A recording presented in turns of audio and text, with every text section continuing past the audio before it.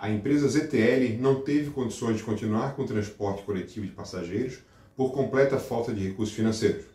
O contrato exigia o aviso prévio de 120 dias caso fosse uma simples renúncia das linhas que ela opera, mas no caso de falência ou extinção da empresa, esse prazo mínimo não é exigido pelo contrato assinado entre a empresa e o Estado de Santa Catarina. Cabe agora ao Estado tomar decisão como irá executar esse transporte de passageiros, já que não foi autorizada a transferência das linhas da ZTL para outra empresa, como própria sugestão da ZTL, sob alegação de impedimentos legais. Com relação à relação com a Prefeitura,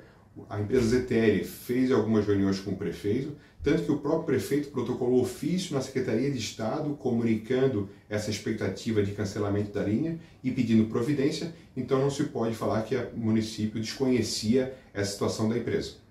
E com relação aos passageiros, agora os que possuem créditos precisam buscar a empresa até o dia 20 para ter esse ressarcimento dos valores, que é enquanto a empresa estará em atividade, e a nova empresa dependerá de uma decisão do Estado como irá executar esse serviço, que é uma função pública do Estado.